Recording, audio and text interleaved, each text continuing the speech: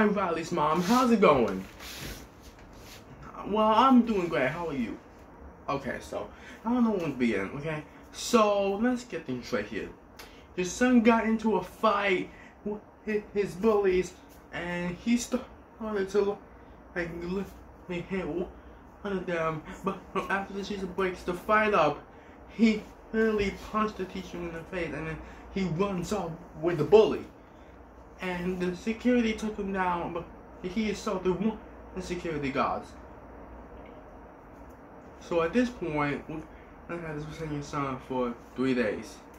But at this point, we don't know what to do with him, so it's all to you. So you might want to have to talk to him more quick, okay? Alright, you, you have a nice day. Alright, so stay safe out there with one of us, okay?